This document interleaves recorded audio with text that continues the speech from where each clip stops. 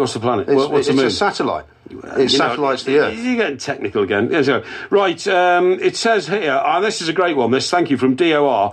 Right, another great idea from old Porky. Let's send our hardened criminals into space. Have you not seen Superman 2 with General Zod? Now, that was a great film, wasn't it? I can't remember Superman 2 very well. Oh, well, what happened was these three criminals were sentenced by the World Court to uh, uh, eternal exile. So they're then put into, like, uh, a time cube and shot out into space. Uh-huh. And the reason that they get freed is because, do you remember, Superman, Superman rescues a nuclear explosive from the Eiffel Tower. I don't remember the film at all, really. Or maybe I haven't seen it. Maybe you haven't seen it. What happens is a nutter places a nuclear explosive on the Eiffel Tower to blow up the whole of France, right? Which it would, of course. Certainly the whole of Paris, anyway. Yeah. So Superman is alerted. He gets over the Atlantic in like you know five seconds flat. He grabs the explosive device before it's you know as it's about Heads to off into space. Heads off into space. Casts it way out into space, and the nuclear explosion blows up in space. But what it does is, it shatters the um, the captive cubes that the three criminals have been put capsules. into. They, well, they've just been put into captive cubes for ex- exile in eternity. Don't they die then? No, they don't. They're freed from these cubes, and then they come back to Earth. But they've got superpowers by now, even greater than Superman. Do you see what I mean? See, that's another bad point of your of your story. Then, so you could send criminals up into space, and they could come back as superhero criminals.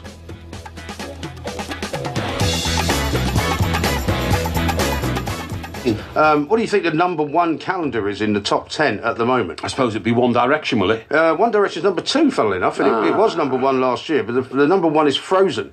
Um, Ah, now, Frozen. now that apparently is going to be the most successful Disney film ever, yeah. and it's uh, it's a picture one, like uh, what what am I what do you saying? mean, like a cartoon? No, no, no. What, like animated. Animated. It's an animation. Yeah. It's an animation, and it's about a frozen princess, isn't it? I'm not sure It's what about, it's no, about. it's about a princess in like um, a sort of Superman type uh, uh, world. Ah. You know when Superman goes back and gets his Krypton bar. Yeah, Um, it's like an Arctic world. yeah, apparently. what's his world Well, he's called? on another planet, though, isn't he? No, no, he's no. the planet Krypton. no, no, no. He's not. He is. No, he's not. No, he's Well, not. he's not on Earth, is he? Of course, he's on Earth. No, he's from somewhere else. That's why he's utter, Superman. utter rubbish.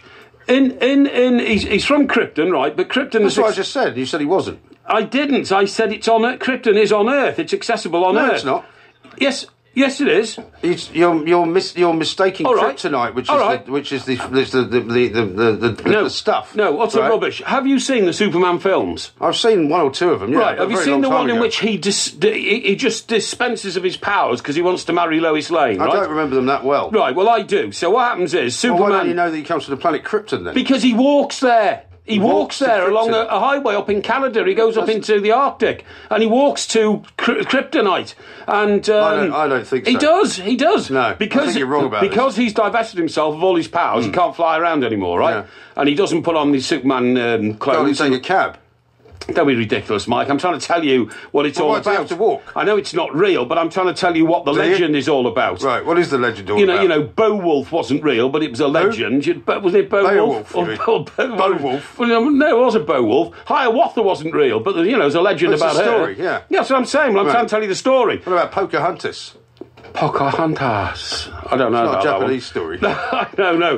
Uh, anyway, what happens is old Superman Old Superman, yeah. and he he wants to marry Lois Lane, Yeah. so he decides he's got to be normal. Right. So he, he literally divests himself of all his Superman powers. Starts walking He around. goes into a diner, you know, these American diners, you Yeah. know, that you and I have used a million times on Yeah. the road in America. And uh, some guy in there's being a slob and all that. And uh, Superman, who was Christopher Reeve in those days, Yeah. God rest his soul, um, said, you know, please uh, don't say that in front of my wife, you know, or, or my girlfriend or something. And the guy just uh, punches him in the face, puts him on the bar, and pushes him down the Right. bar. And he feels humiliated because he Superman doesn't have his powers anymore. Exactly, doesn't have his powers anymore. But but that's not the real reason he goes to get him back. He goes to get him back because three of the worst um, criminal mind villains in the world have come back to Earth after. Right. being expelled from another planet, Uh-huh. and they've landed on Earth. Not Krypton. Zog, it's Zog. Is it Zog, is it? It was Zog, yeah. So anyway, he, he then the world then says, "Where's Superman? We need Superman because Zog is going to kill us all." Isn't it Zod with a D? No, I think it's Zog in it. No, I think it's Zod. Uh, uh, wasn't King Zog the capital of Romania? Uh, the um, king of No, Romania? that was King Zog. Zog. Oh, Yeah. Zog. Yeah, okay. This so, is Zold, I think. This is Zod. Yeah. At one stage. Silly old Zod. Yeah, yeah. At one stage, Zod says to the President of the United States of America, kneel in front of Zod. Right. And the wrong bloke kneels down, so he gets one right in the um, in the ribs. But uh, anyway, so. Is this a long story? No, I'm trying to explain to you because you don't know. I'm trying to tell you about calendars.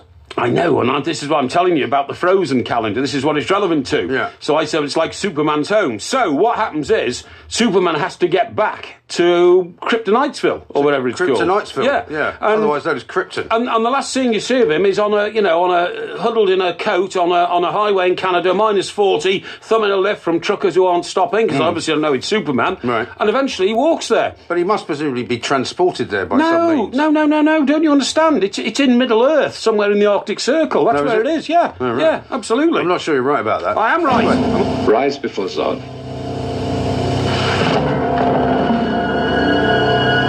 No. Kneel before Zod.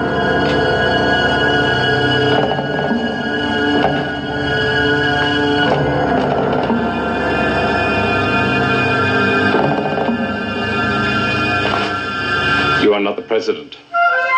No one who leads so many could possibly kneel so quickly. Mike's got a load more uh, tweets coming in, by the way. Uh, Dion says Superman was from planet Kryptonite. His Fortress of Solitude is in the Arctic. Also, it's General Zod, played by Terence Stamp. Yeah, That's a Terence Stamp. That's right. Yeah.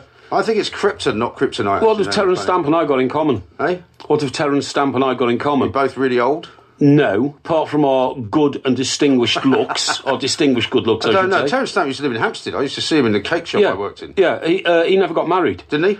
He went out with Julie Christie, didn't Oh, he, yeah, he for did, years? he and she was like one of the world's great beauties. She was, yeah. For some strange reason, they never got married. Huh. And uh, Terence Stamp now, you still see him in the West End. Yeah. He goes to, all, you know, these little sort of bijou theatres, Oh, which yeah. Have a, like 50 or 60 seats. And Sort of place we would play. yeah, that's right. And they, and, and they, they show like French films and uh, Spanish films, all that I've kind of stuff. told he was married.